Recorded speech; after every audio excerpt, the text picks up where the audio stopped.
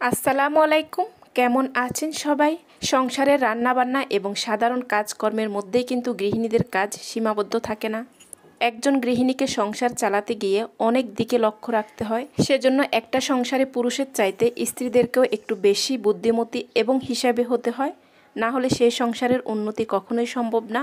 এই পৃথিবীতে যে মানুষগুলো অল্প কিছু পাওয়াতে অনেক বেশি খুশি হয়ে যায়, সে মানুষগুলোও কিন্তু দিন শেষে অনেক বেশি সুখী হয়। যাই হোক, আবারও ব্যস্ত দিনের আমার নতুন একটা ব্লগ নিয়ে আপনাদের মাঝে হাজির হয়ে গেলাম। একেবারে সকাল থেকে শুরু করে রাত পর্যন্ত এই ব্লগটা কন্টিনিউ করেছি। আপনারা যারা দেখা শুরু করছেন প্লিজ একটা লাইক দিয়ে আমার পুরো ব্লগটা দেখবেন। আর হ্যাঁ দেখতে দেখতে ভালো লেগে গেলে কিন্তু একটা কমেন্ট করে জানাতে ভুলবেন না। আপনাদের কমেন্ট পড়তে আমার কাছে খুবই ভালো লাগে।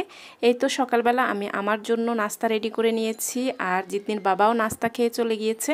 এটা হচ্ছে নাস্তা খাওয়ার পরে জিতনির জন্য পাউরুটি দিয়ে একটা নাস্তা রেডি করে নিচ্ছি। ওর জন্য টিফিন নিয়ে যাব সেজন্য।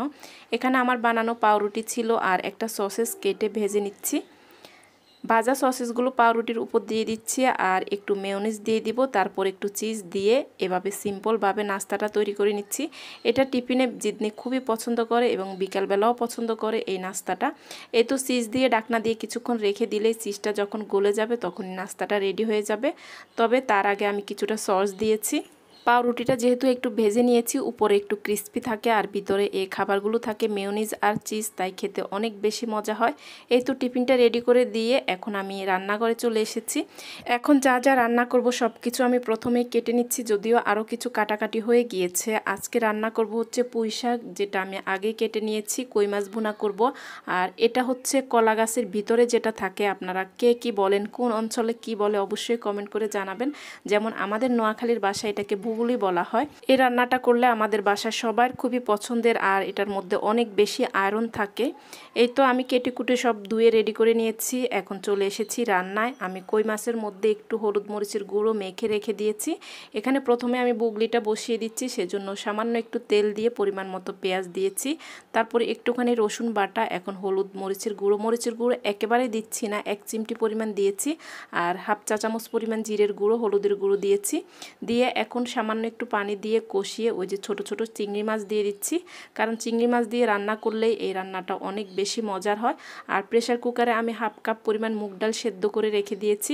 ডাল দিয়ে রান্না করব, যেহেতু ডালটা সেদ্ধ করা, ডাল দিয়ে আমি এখন এই যে কেটে রাখা বুগলিগুলো দিয়ে দিচ্ছি।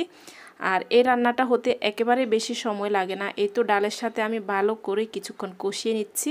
আর কোনো পানি দিব না, এই থেকে অনেক বেশি পানি বের হয়ে যাবে। আর এই তো এই চুলে একটা ফ্রাই প্যান বসিয়ে দিয়েছি, এখন আমি কই মাছগুলো ভেজে নিচ্ছি।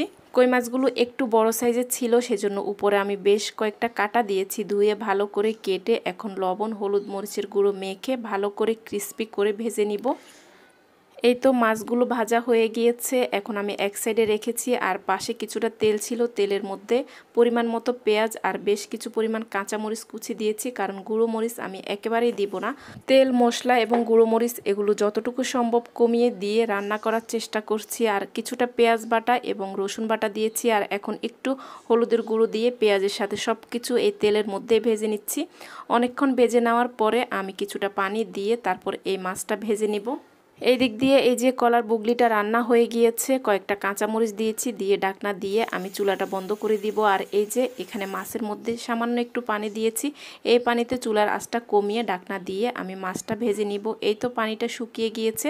আর এখন কিছুটা প্রোজেন ধনে পাতা ছিল ডিপ ফ্রিজে, সেই প্রোজেন ধনে পাতা দিয়ে দিচ্ছি। আসলে আমি যেহেতু আমার ফ্যামিলি ব্লগ শেয়ার করি রান্না বান্না এবং গোছ গাছ সহ অন্যান্য কাজ, তাই আমি যেমনটা যা যেদিন রান্না করি তাই শেয়ার করি। জানি না আপনাদের কাছে কেমন লাগে? অনেক আপুরাই অনেক বেশি পছন্দ করেন যে আমার রান্নাগুলো দেখে দেখে নতুন গৃহিণীরা যারা আছেন আর কি তারা রান্না শিখছেন বা এভাবে রান্না করে নিচ্ছেন। আমার কাছেও ভালো লাগে, তবে আপনাদের কোন ধরনের কোন রান্না পছন্দ অবশ্যই কমেন্ট করে জানাবেন। এই তো মাছ ভাজা হয়ে গিয়েছে, চুলায় আমি পুঁই শাকটা অলরেডি বসিয়ে দিয়ে এখানে বেসিংটা পরিষ্কার করে নিচ্ছি। আর চুলাটাও, রান্নাটা যখন হয়ে আসছে, চুলাটাও ক্লিন করে নিব। চুলার পাশটাও আমি ক্লিন করে নিচ্ছি। এভাবে একটু রান্নার পরপর যদি চুলা এবং এবং চুলার পাশটা ক্লিন করে নেওয়া যায়, তাহলে রান্নাঘর কিন্তু একেবারে ময়লা হয় না বা তেল চিটচিটে হয় না। এই তো রান্নাবান্না শেষ, রান্নাঘরটা ক্লিন করা হয়ে গিয়েছে। এখন দুপুরে আমি খেতে বসেছি, তার একটুখানি শ্যুট আপনাদেরকে দেখাচ্ছি। এই যে ভাত খুবই কম পরিমাণ খাওয়ার চেষ্টা করি, আর শাক, সবজি, মাছ এগুলো বেশি খাওয়ার চেষ্টা করছি। আর অবশ্যই খাওয়ার সাথে লেবু না হলে তো আমার একেবারে হয় না। লেবু খাওয়া আমার খুবই পছন্দ।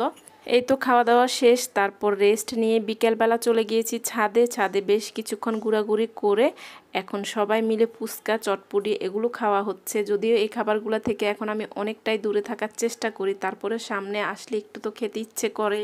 আসলে আমাদের প্রতিদিনের বিনোদন হচ্ছে ছাদে যাওয়া, আর এই যে বাসায় এসে জিদনির ড্রয়িংয়ের একটু কাজ ছিল, সেটা ও শেষ করে নিচ্ছে।